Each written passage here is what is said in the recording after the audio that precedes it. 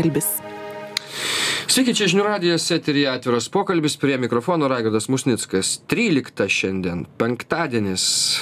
Pats laikas pakalbėti apie tai, kas vyksta su lietuvių psichika per pastaruosius trylika metų depresija sergančių žmonių skaičius lietuvoj išaugo dvigubai. Pagal antidepresantų vartojimą europoje lietuva pirmauja. Kaip rašo savaitraštis veidas depresija sergančių žmonių per šį laikotarpį padaugėjo nuo trijų šimtų aštuoniasdešim iki septynių šimtų penkiasdešim keturių šimtų tūkstančių gyventojų. Pasak savaitraščio dar sparčiau didėja antidepresantų vartojimas bendrovės AMS Hill duomenimis 2011 e, metais trečią ketvirtį Lietuvoje buvo parduota 197 tūkstančiai antidepresantų pakuočių, o tai maždaug 19 procentų daugiau nei tuo pačiu e, metu 2010-aisiais. Lietuvos ligonių kasa kompensuojamiems antidepresantams per metus išleidžia 18-19 milijonų litų. Pagal antidepresantų vartojimą Europoje pirmauja Portugalija ir Lietuva.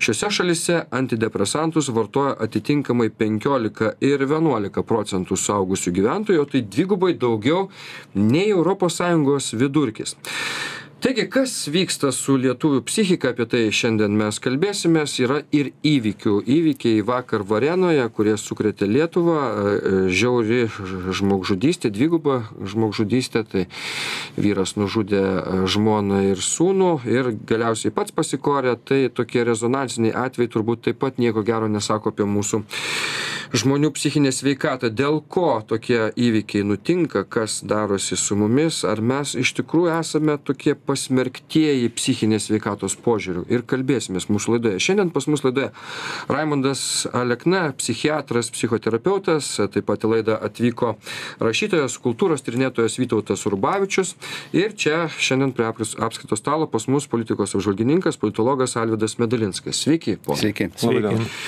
Na, mes kiek vėliau kalbėsime telefonu ir su sveikatos apsaugos ministru Viteniu Andriukaičiu ir taip pat kalbinsime filosofą Algį Davidavičių, naujosios kairės atstovą. Dabar norėčiau į Raimundą, psichiatrą žmogų, kuris na, iš tikrųjų susiduria kasdieną su įvairiais žmonėmis, kuriems matyti gyvenimas tampa vienu ar kitu atveju nemielas. Apie įvykius. Apie įvykius tuos, kurie įvyko vakar Varenoje. Ką jūs galite pasakyti? Tai vienareikšmiškai aišku, kad tai žmogus turėjo psichiatrinių problemų, su psichika jo buvo sutrikusi, nes e, pakelti ranką prieš savo artimą žmogų ir prieš save, tai visuose psichiatrijos e, vadovėliuose konstatuojama, kaip yra psichikos sutrikimas, kuris, e, kurį privalu gydyti stacionare tai e, kaip tai įvyko dažniausiai jeigu mes tai traktuotume kaip pavydo kažkokią sceną pavydas būdingas geriantiems bet šiuo atveju tas žmogus apibūdintas buvo kaip ne, ne, nevartojantis, tai net mesinas variantas, kad tai iš tikrųjų galėjo būti ir kažkokia tai umi psichozė, kuri, kuri, kurios galbūt ne, neidentifikavo, nepastebėjo artimieji arba slėpė, o galėjo pasireikšti net ir halucinacijų, mes mūsų praktikoje yra, kur tos vadinamos imperatyvios e, klausos halucinacijos, kurios liepia kažką daryti. E, būna tokių atvejų, kai liepia ir žudyti ir iš tikrųjų žmogus sunkiai atsilaiko. Ir ir tai nėra pirmas kartas kada tėvas ar motina nužudo e, vaiką. Atsimenu prieš čia porą ar kiek metų buvo kaune kai subadė vienuolikos metų dukrą mama. Tai psichiatrijoj su tuo mes susiduriam. Aišku bėda ta kad e, didžiulė stigma egzistuoja psichiatrų psichologų ir aplamai psichiatrinės pagalbos atžvilgiu ir artimieji skaito kad tai yra didžiulė gėda gėda kreiptis tos pagalbos jie slepia kenčia ir dažnai būtų galima išvengti viso šito bent jau pasikonsultavus kad ir su šeimos daktaru paklausus ką daryt tokiu atveju jeigu vienas iš sutuoktinių įtarinėja nepagrįstai E, ir nėra visiškai kritikas, kritiškas jokiem argumentam, tai bet kuris šeimos daktaras pasakys, kad tai yra jau rimta patologija, nes e, psichinės lygos sunkumo laipsnis galima, galima vertinti būtent pagal tą e, gebėjimą kritiškai vertinti tuos lyguistus simptomus, išgyvenimus. e, kiek... Bet toks elgesys pakankamai pragmatiškas buvo, e, iš tikrųjų žinutė parašyta, netrodė, kad na, ne, neplanuotas kažkoks tai veiksmas buvo. Man taip nepasirodė. Žinutė parašė galbūt iš tikrųjų tas net ir psichinė, psichinė lyga sergančiam žmogui tam tikri e, veik, veiksmai, įvykiai sukrečia ir galbūt tas sukretimas šiek tiek prablaivina tą protą ir, ir pamato, ką padaro ir jau aišku suplanuotas buvo jo nusižudymas nes jis e, informavo ar ten e, kažkur tai girdėjau kad atsiprašė toj žinutėj e, savo artimųjų, kad jisai apgailėstavo, kad tą padarė ir, ir nusižudė. Tai bet kuriuo atveju, net ir Lietuvos psichinės sveikatos įstatymas traktuoja žmogų, kuris ketina žudytis kaip e, sunkų psichinį ligonį, kurį e, reikia priverstinai prieš jo valią, net jeigu jisai nesutinka gydyti psichiatrinį ligonį. Tai kaip aš ir savo pacientams sakau, kurie bando žudyti, sakau, tai iš tikrųjų tai yra, yra kraštutinė beprotybė, nes e, tu sakai, kad blogiau nebebūna, tarsi buvai numiręs ir matei, kad ten yra geriau tai daugelis iš jų iš tikro suklūsta ir ir tas daro daro įspūdį nes e, iš tikro galbūt mūsų mūsų nu, kultūroj yra tas toks tikėjimas kad pomirtinis gyvenimas e, geresnis negu kad vat vargai šitoj šitoj ašarų pakalnėj tai tai aš manau kad ir ir teko kalbėtis ir su dvasininkais ir su kunigais kurie irgi e, pripažįsta kad tai čia yra absoliutus absurdas ir ir kad kad jie netgi siūlo taip e, akcentuot, kad tu esi žudikas, tu nužudai žmogų, net ir mm. tu esi irgi žmogus, Dievo kūrinys ir bet kuriuo atveju tai yra ir nuodėmė, ir, ir, ir beprotybė. Dėkui, Raimondui Aleknai. E, o apie antidepresantų vartojimą, apie depresijų skaičių didėjimą. E, Vytautai, kaip Jums atrodo, čia mūsų šalies problema kokia nors dabar? Dvigubai augantis skaičius. Kaip Jūs tai vertintumėte? Na, aš būčiau linkęs žiūrėti čia ne tik iš tos individualios pusės kaip į bet į iš iš statistikos pusės o statistika jau visada kreipia į socialinius e, socialinius ryšius socialinius santykius tą socialinės materijos e, socialinės materijos veiksmus. Tai ir čia mes jeigu mes pradėtume šiaip jau įdėmiau žiūrėti į visus socialinius sluoksnius į tą visą lietuvos raidą tai mes pamatytume na galėtume išskirti ne vieną veiksmį veiksnį kuris na ne neprisidėjo prie tokios geresnės socialinės, socialinės psichologinės aplinkos. Tai e, mes čia jau ir prieš, prieš pokalbį vat, minėjome tokius dalykus, kad jeigu mes čia dar pridėtume visus tos tyrimus pagal socialinės gerovės įvairius rodiklius, kuriuose Lietuva yra pirmaujanti paskutinė, kitaip tariant, Europos Sąjungoje. Jeigu mes e, pridėtume, sakykime, e, smurtą mokykloje, prievartą, suaugusių prievartą prieš vaikus, prievar, vaikų prie, ir, ir, ir taip toliau. Čia visa, ta, vis, visa tai yra ta aplinka, kurioje e, pavienis individas kartais nebeatlaiko. Ir, ir visų, visų, visų žmonių sąmonėje šitie dalykai vienaip ar kitaip kaupėsi. Juk mes gyvename, mes matome, mes, mes mes mes išgyvename daugelį dalykų. Tai apie tą socialinę aplinką, ką mes kitokie negu gyvenantis, pavyzdžiui, kažkur Latvijoje, Bulgarijoje, Estijoje ir dar kur nors, bet kažkaip visą laiką mes esam pirmaujantis. Labai keista, pagal depresantus mes antidepresantus dar ir su Portugalija lygiuosimės, tai ir geografinė e, padėtis, ir klimatas, ir visi kiti dalykai yra skirtingi. Na, gal tik tai, kad ekonominė padėtis šiek tiek panašios. Po pertraukos apie mūsų mentalitetą ir apie tai, kodėl mes taip smarkiai sergame e, depresijomis, kalbėsimės su e, kitais mūsų studijos svečiais.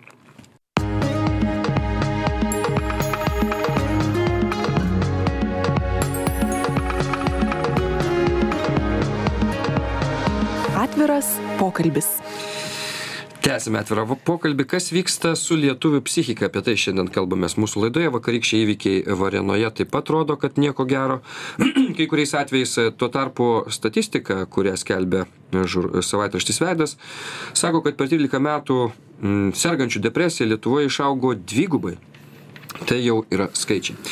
Raimondas Alekna, psichiatras, psichoterapeutas, Vytautas Rubavičius, rašytojas, kultūros trinėtojas, Alvidas Medalinskas, politikos apžvalgininkas, politologas mūsų laidoje. Alvidai, vat, kaip Jūs vertinate e, tai, kad skaičius e, depresiją sergančių žmonių Lietuvoje auga dvigubai ir mes esam pirmaujantis ir vėl Europos Sąjunga? Taip, kaip ir savižudybėmis. o jeigu dar paskaičiuoti kiek žmonių pasitraukia į save vietoj to kad žvelgtų kas darosi čia nueina į savo šeimos ratą nueina savo šeimos draugų ratą nueina savo karjeros dalykus kad tik nematyti kas vyksta aplinkui tai matyt tas skaičius būtų dar didesnis. Šiaip tai aš sakyčiau taip aš tai nesakyčiau aišku aš nesu nei psichiatras nei nei nei nei psichoterapeutas bet aš tų žmonių kurie pakelia ranką prieš save ir išeina patys aš nevadinčiau psichiniais.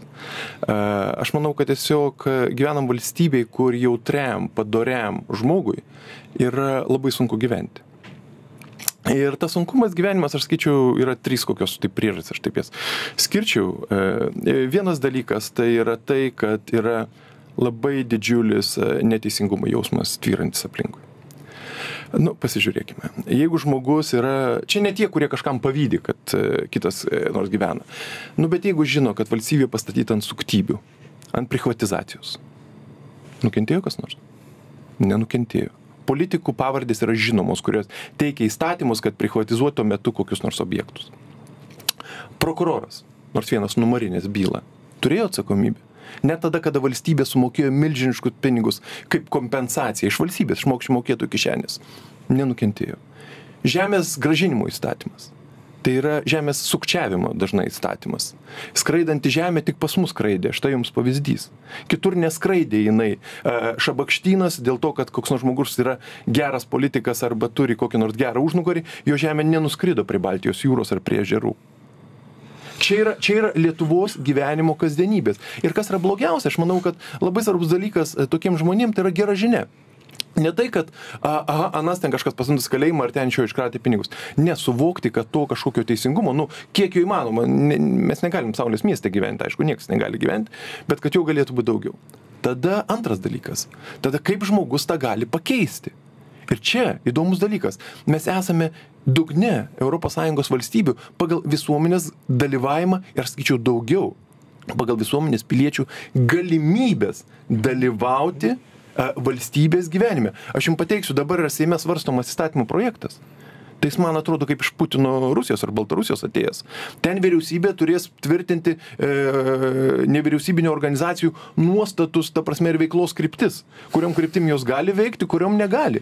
Aš nežinau, prezidentūra pateikė tokį siūlymą, iš kur jinai jį nusirašė. Bet jūs labai tai toli žiūrite, tai aš, aš, aš, aš žmogus taip. gal taip toli nemasto kaip žmogus, jūs. Jūs esate politikos apžvalgininkas. Jūs... Žmogus masto, nes tas žmogus, kuris, kuriam yra ne vis viena, ir kuris pasilieka čia Lietuvoje vietoj to, kad išvažiuoja, kiti tiesiog priešta nusižudė, aš abejoju, ar taip toli mąstė iš tikrųjų, ar Vytautas Šapranauskas mąstė, kad čia valstybė išvagė kažkas arba neteisingai. Ne, Vytautas Šapranauskas mąstė apie kitus dalykus. Ar, ar, ar yra... tie vaikai savyžudžiai, kurie pasikabina ant šakos, pavyzdžiui, irgi masto apie tai, ar tėvas, kuris išžudė dabar čia šeimą, galvoja, Gerai, kad čia žmogus yra įsukamas, e, ar Vytautas Šapranauskas, ar tas kitas aktorius, ar dar, kad žmogus yra įsukamas, kas yra teatras. Kodėl aktoriai pas mus išeina?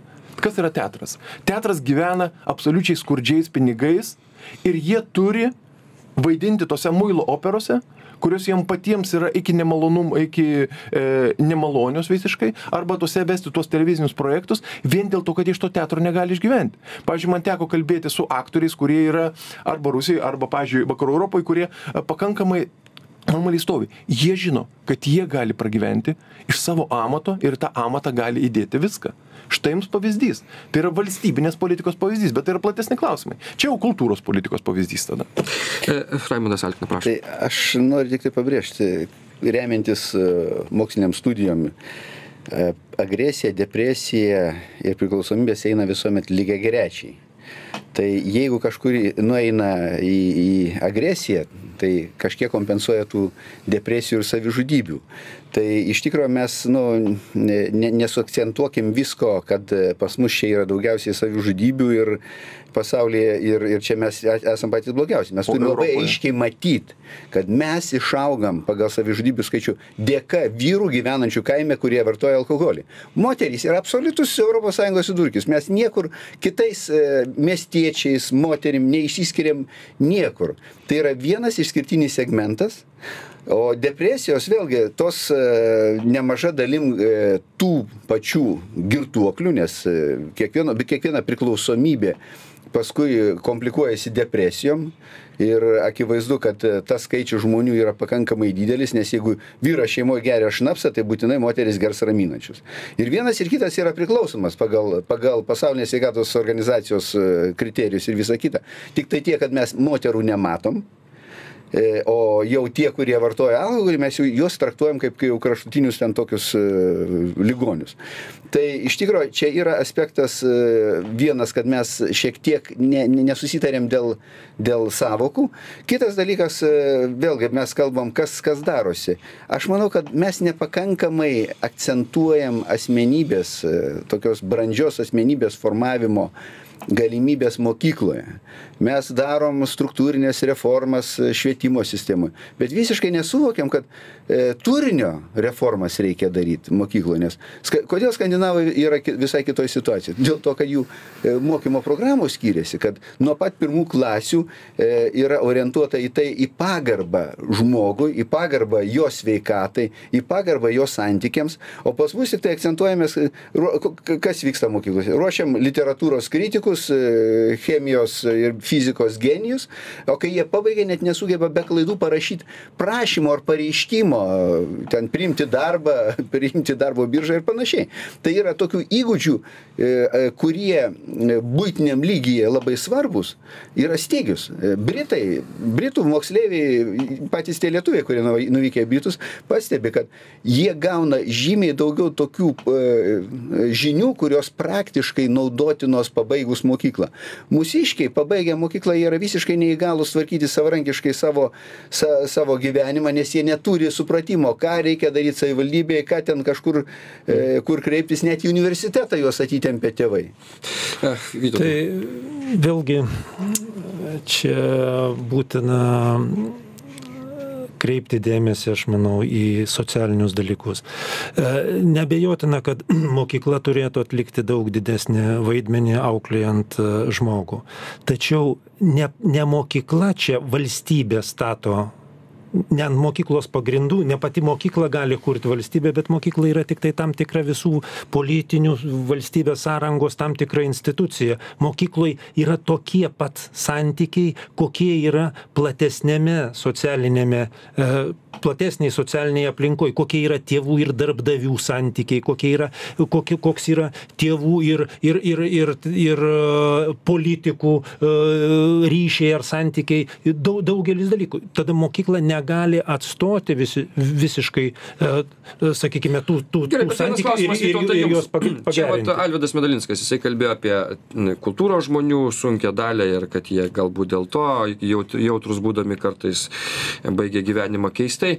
Juk jūs esate irgi kultūros žmogus, jūs esate rašytojas, jūs matote, apie kurią čia šnekate Lietuvoje padėtį, kad nėra socialinio teisingumo, politikai ten toli nuo visuomenės. Jūs sergate depresiją?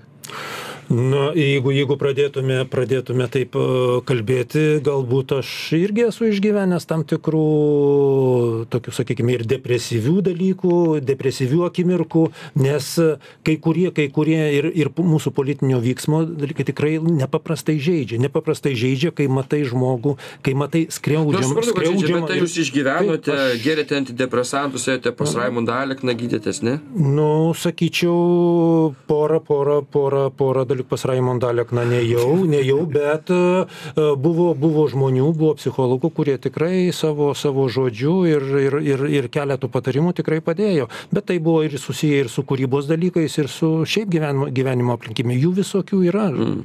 Bet, bet tai praėjęs etapas dabar jau jūs sunkiai grįžtumėt prie to etapo, dėl to, kad e, užsigrūdinot ar kas? Kiek, kiekviena patirtis be, be, be, be abejo grūdina ir aš linkėčiau, linkėčiau žmonėms tikrai, va, tie, kurie išgyvena išgyvena tam tikras patirtis, neužsiverti savyje, neužsiverti, neužsiverti ir netapti tam tikrą, na, sakykime, juodąją skilę, į kurią visa, kas patenka, nugrimsta tokioje jau nešviesybėje. Tai ir aš, ir aš ir šitą skaudų atveju taip interpretuoju e, kaip, kaip visišką žmogaus užsiverimą, užsiverimą nuo pasaulio, kai nebematai jokios išeities ir tada pasitrauki iš to pasaulio su savo artimiausiais žmonėmis jis tiesiog na galbūt e, tam tikru momentu pasirodo kad tai ir geresnė išeitis nes visom ki visos kitos išeitys tiktai bus dar didesni pažeminimai ir dar didesni dar didesnės bėdos ir dar didesnis skausmas patiems artimiesiems. Ir mes dar paskambinome uh, filosofui naujosios kairės judėjimo atstovui Algiui Davidavičiui. Sveiki, ponia Algi. Labą dieną. E, Nesirgat depresija? Aš esu turėjęs depresijų epizodų kaip ir dauguma miesto ar net kaimo gyvenimo gyventojų vyrų Lietuvoje statistiškai. Aš Kodėl? priklausau Kas atsitiko? daugumai. Dėl ko? Be abejo, aš turėjau įvairių sunkumų gyvenime, a, esu patyręs ir a, bejėgiškumo arba nežinojimo, dezorientacijos, nežinoma kaip susitvarkyti su problemomis, izolacijos, taip, jausmą, kai, kai nežinai, a, kokios pagalbos iš ko galėtum paprašyti. Visą šitą aš irgi esu perėjęs ir įveikęs. Galiausiai e, įveikėt, bet e, tas, kaip jūs atradote, kaip reikia įveikti? Žinote, vienintelis dalykas, e, okay, jeigu mes šnekam apie mano asmeniškai patirtį, tai ir ne tik mano asmeniškai, bet bet, bet kurio žmogaus patirtį šių dienų Lietuvoje, a, svarbus labai e, dalykas arba svarbus veiksnys, kuris leidžia pasijusti sveikiau ir stipriau, yra a, geri draugystės ir a, priklausimo kažkokiam a, bendruomenėm, kurias galėtum vertinti a, ryšiai, a, saitai. Ir e, tai yra labiausiai e, sugriauta. Arba tai to labiausiai trūksta e, šių dienų Lietuvoje. Tai aš pritariu visiems iki šiol kalbėjusiems, kurie pabrėžia va tokią socialinę dezintegraciją arba a, įvairių socialinių terpių, socialinių ratų, socialinių ryšių, pavyzdžiui, kaiminiščių, klubų, draugijų ir panašiai subirėjimą arba paviršutiniškumą, kuris dabar yra. Nes žmogui pasijusti sveikiau labai svarbu yra, kad jis jaustųsi ne vienas, kad jisai gali kreiptis ir gauti pagalbos. Dabargi a, a, toks tokie pagalbos ratai yra labai labai reti arba labai labai uh, silpni. Kiekvienas yra daugmaž izoliuotas.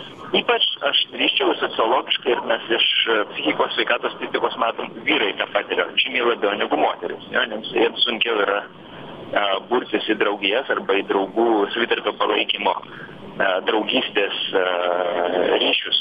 Ir ko taip yra, aš irgi vėlgi pritariu tiems kalbėtojams, kurie iškėlė um, uh, politinių sprendimų, taip, ir jos lydėjusių ekonominių pasikeitimų Lietuvoje veiksnį. Ja, mes gyvenam hiperkapitalizmo sąlygomis. Hiperkapitalizmas be abejo kraštutinis uh, į vien tik tai greitą pelną, greitą augimą orientuotas kapitalizmas yra antisocialus iš esmės. E, Mūsų politika yra neabejotinai uh, dominuojama, uh, joje vyrauja tokio stambaus kapitalo interesas. Ir mes matome, kad uh, mes dauguma mūsų ir ekonomiškai, o tuomet tuo tarpu ir e, tokiu būdu ir socialiai, ir psichologiškai mes esam skurdinami ir e, atskiriami, padaromi e, pavieniais e, rinkos dalyviais. Ir tokiai aplinkoje labai sunku turėti gerą atgaivinantį, vienas kitą stiprinantį socialumą, kuris leistų turėti viltį gyvenime, kad tu gali su juo susitvarkyti, kad tu esi ne vienas, kad tu gali uh, savo problemas įveikti ne kaip uh, visiškai toks spartietis, kuris tik tai uh, arba pasieks ką nors, arba žus.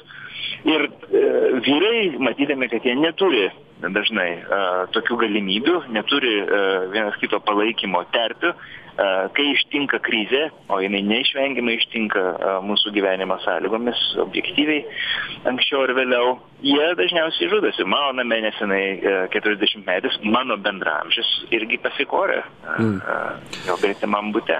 Tai, e, jisai turėjo darbą, jisai išsiskyrė, e, tas darbas sunkiai sekėsi, ir panašiai.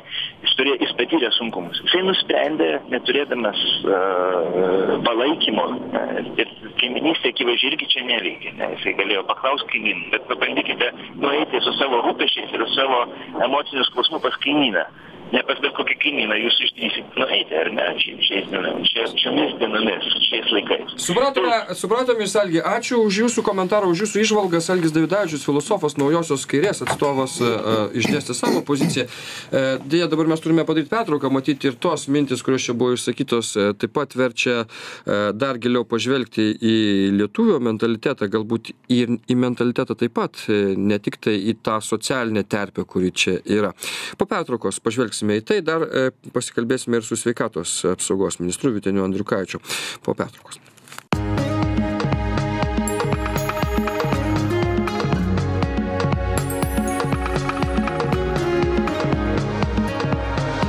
Atviras pokalbis. Tęsime atvirą pokalbį, kas vyksta e, su lietuvių psichika. Apie tai šiandien kalbamės mūsų laidoje. Raimondas Alekna, psichiatras, psichoterapeutas, Vytautas Urbavičius, rašytojas, kultūros tyrinėtojas, Alvidas Medalinskas, politikos apžvalgininkas, politologas čia prie stalo e, pas mus e, tiesioginėme eterė. Grįžtant prie to, ką sakė Algis Davidavičius apie tą socialumą, apie žmogaus gebėjimą kreiptis pagalbos į, į draugus, į giminės, į artimuosius, jeigu yra sunku.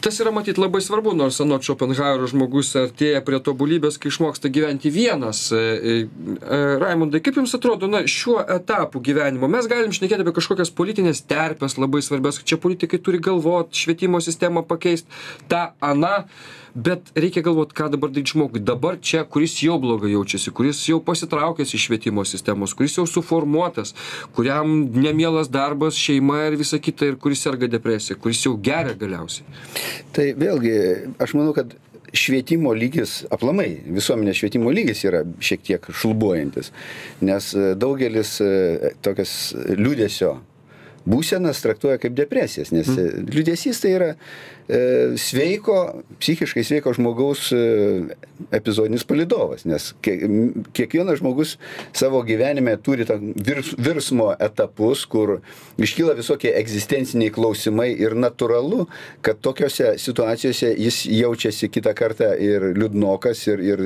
išgyvena e, depresiją. Bėda ta, kad dėl šito jis nesusigaudo, kas vyksta su juo, jis ne, ne, ne, negeba įsisamoninti, atbėga pas daktarus ir daktaras iš karto duoda antidepresantus. Aš pats savo praktikoje mačiau, e, dirbdamas psichiatrų, vaduodamas kai kurios savo kolegas, kad e, 30 procentų, kuriem buvo paskirti antidepresantai raminantis, jam būtų užtekę psichologo konsultacijos ar psichoterapijos. Tai kad mūsų visuomenė yra medicalizuota, tai yra problema, kad mūsų gydytojai, kaip sakant, kaip aš sakau, mes mokėmės iš profesorių, jūs mokotės iš farmacinių kompanijų reperių, kurie mm. ateina su vaistais apie vaistą, viską žino apie žmogų gerokai mažiau. Tai yra, va, štai yra tos problemos, e, kur, kurios galutiniam rezultate ir tuos žmonės padaro sergančiais depresijom. O jeigu e, taip jau visiškai realiai pasižiūrėjęs, tų depresijų skaičius ko gero bus nedidesnis negu bet kurioje kitoje Europos šalyje. Tai e, aš manau, kad iš tikrųjų visuomenės švietimas yra labai svarbus, net ir ta šia, šiandien dienos laida yra labai svarbi visiems.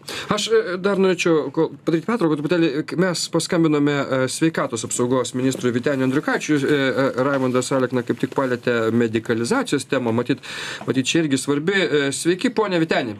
Sveiki, ar jums viskas gerai? Taip, viskas gerai. Niekada neteko susidurti su depresija? Pritariu kolegai Raimondui, kad liūdėsi išgyvename visi visas emocijas, kurios žmogui būdingos, visi patiriam, nes viskas, kas žmogiška, mums nesvetima. Tačiau depresija yra kur kas sudėtingiau. Čia jau yra e, kaip sakyti, lygos forma ir ją čia turi pasisakyti specialistai. Tai, tai šios diagnozės aš neturiu. E, ministrė, vis dėlto skaičius depresijų per 13 metų išaugo dvigubai. Kaip jūs, na, kaip vat, politikai, negražu žodis, davarė šalį? Na, tai turbūt e, susitarkim, kad tai yra ne politikų ir ne vien politikų darbas. Tai yra, ko gero, mūsų visos visuomenės e, pokyčiai, išgyvenimai, sudėtingumai, ekonominių pasiekimų ekonominių krizių politinių krizių teisinių socialinių smurto. Patys įvairiausi reiškiniai kurie gali paveikti jautresnį žmogų. Tai aš dabar ar depresijų iš tiesų padidėjo tiek kaip kaip skelbia ta vadinama statistika aš bijočiau e, teigti kadangi gerbiamas e, e, Raimondas teisingai akcentavo, kad ar visos diagnozės yra būtent tokios. Tai akivaizdu, kad galbūt tendencijos e, ir, ir, yra augančios, tačiau nemanau, kad mes esame tokia išskirtinė tauta, kuri turi kažkokį tai va tokį, na, išskirtinį bruožą palyginti su Latvijos, Estais, Lenkais, švedais, rusais ir taip toliau. Nu, manyčiau, kad ko gero, ko gero čia kažkas ne visai tvarkoja ir tose statistinėse vertinimuose. Taip, bet dėl tų statistinių vertinimų ministerija negalvoja kažką daryti. Na vis tiek toks tyrimas, jisai sako, kad mes antidepresantais, e, vartojimo antidepresantų lenkiame ES vidurkį, portugalai ir mes. Tai va čia jau yra skaičiai tokie. Čia vėlgi jūs teisus, kad mes lenkiam antidepresantų. Aliau, labai daug kompensuojamų vaistų sąrašuose e, šitų medikamentų.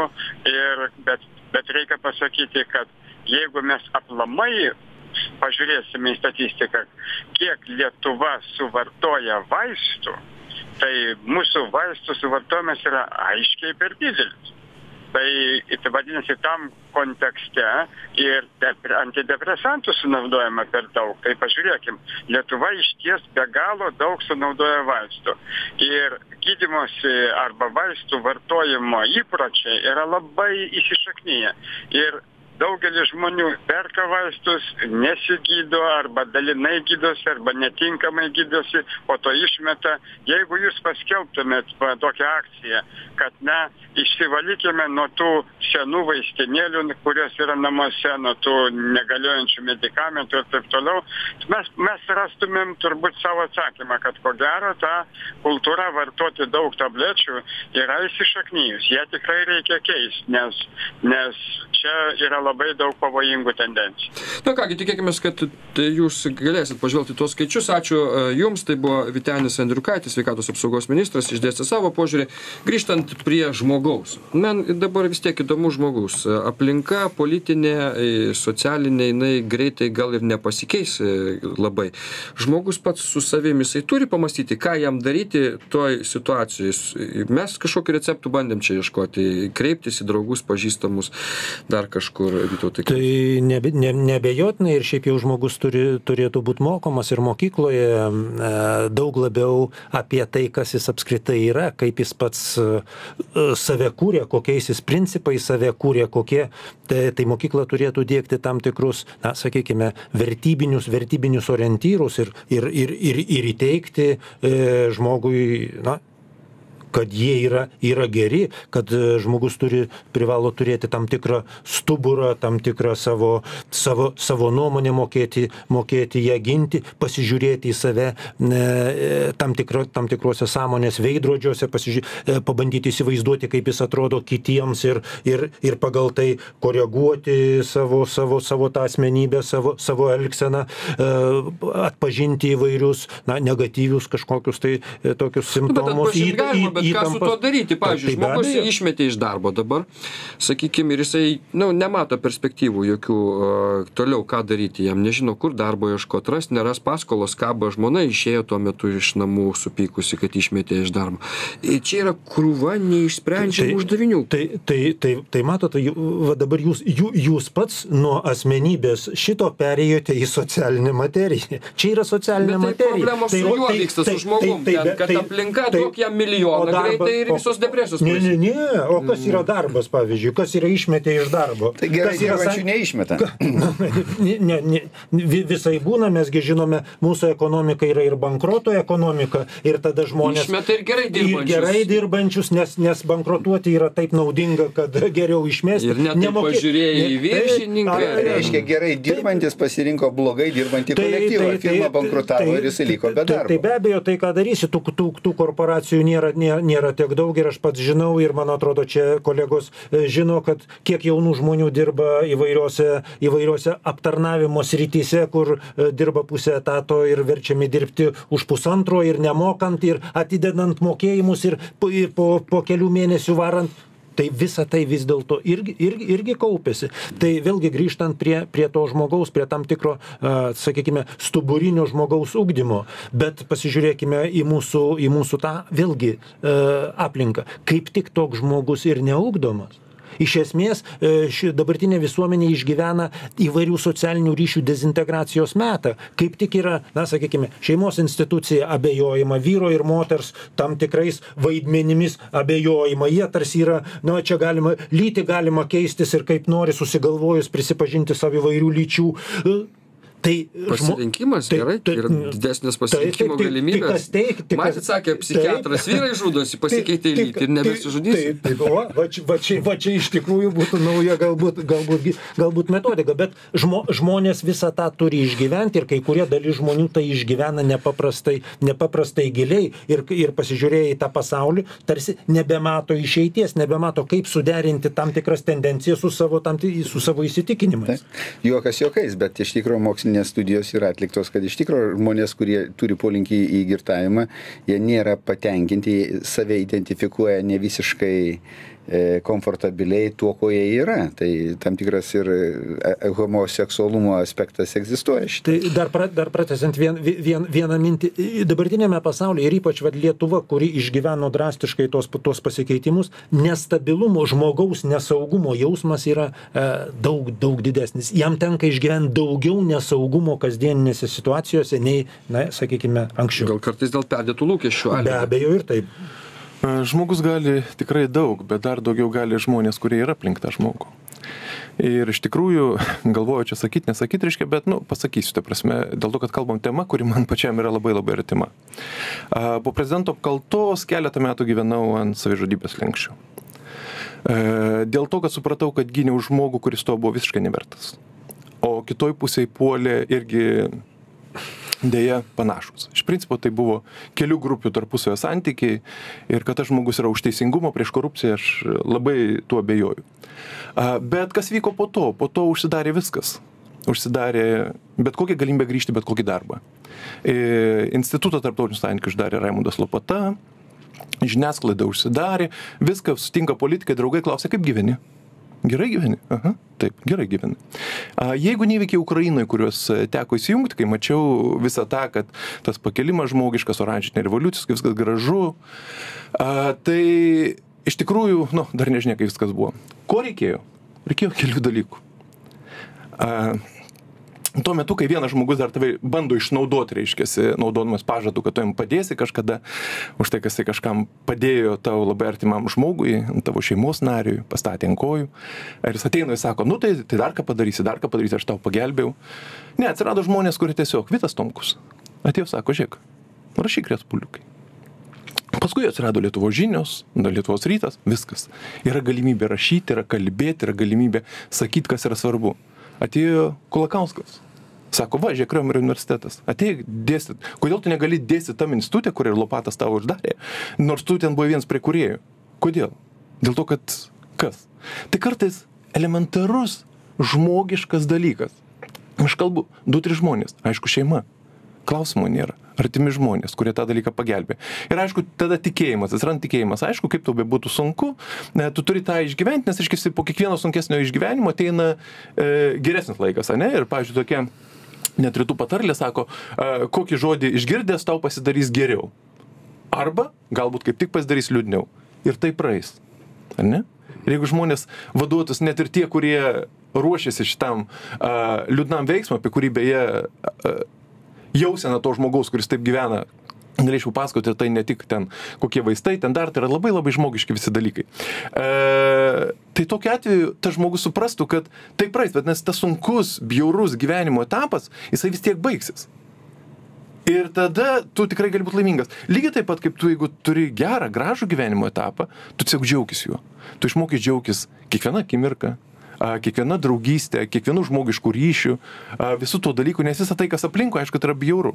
Bet tas žmogiškas ryšys, jeigu tai yra tikrai žmonėm, yra gražiausias. Ir tada dinksta noras daryti kažkokius Tik, pri, negerus tik, tik, dalykus. tik pridurčiau, kad aplinkui yra taip pat labai daug grožio. Nėra viskas Apie ką eina kalba? Apie ką eina kalba? tai iš tikrųjų, vat, labai gražus pavyzdys, kad kol tu esi gyvas, tu turi galimybę keisti ir keisti situaciją gerą. Ir, iš, ir aš visiškai pritariu Raigardui, kad ko gero Schopenhauerį reikėtų mokyklose, kaip sakant, vos ne kaip e, Bibliją Bet ir, dėstyti. ir, ir kantą galima pridėti. Nes, nes iš tikrųjų jisai labai daug, daug tokių gerų e, duoda minčių, išvalgų, kurios e, praktiniam gyvenime yra labai naudingos. Ir dar vienas dalykas, aišku, tai, ką papasako Alvidas, yra labai svarbu, labai įdomi jo istorija, kuri rodo, kad iš tikrųjų viskas išsisprendžia. Kita vertus, net jeigu tada, jeigu neturi šeimos, yra tokių žmonių, jeigu neturi labai artimų draugų ar kas nors, visą laiką yra gydytojai, psichoterapeutai, nereikia bijoti kreiptis į juos, jie gali čia būti atstoti daug dalykų, duoti daug patarimų, kai tikrai labai blogai yra. Dar mes bijome naudotis jų paslaugomis, o šiaip reikėtų nebijoti. Tai čia jau tais atvejais, kai iš tikrųjų e, tikrai labai sunku ir kai nėra net į ką kreiptis pirmu momentu. Tiek šiandien e, mūsų laidoje. Ačiū visiems uždėmesi, ačiū tiems, kas atvyko į mūsų studiją, kas dalinosi savo istorijom ir patarimais. Mm, Tai buvo tikrai atviras pokalbis šiandien. Dėkui ir iki kitų sustikimų. Žinau, vadinasi galiu. Žinių radijas.